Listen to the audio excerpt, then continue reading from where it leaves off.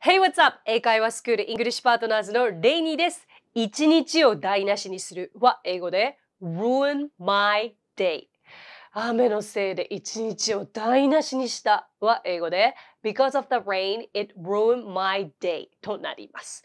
Ruin という単語結構聞き慣れないかなと思うんですけれどもこれは破滅とか滅亡などの意味があるんですよね。よくこう会話でちょっとしたことで「あああなたが私の一日を台無しにした」みたいな時に「You ruin my day」というやり取りを目にしていました。何かこうねやるせないという日があったら独り言で言ってみるのはいかがでしょうか。